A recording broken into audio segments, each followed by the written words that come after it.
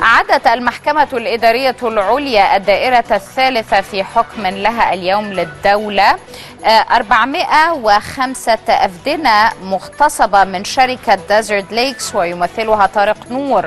وفي حكم آخر أعادت 400 فدان أخرى. تنازل فيها طارق نور عن 271 فدان لرجال أعمال آخرين.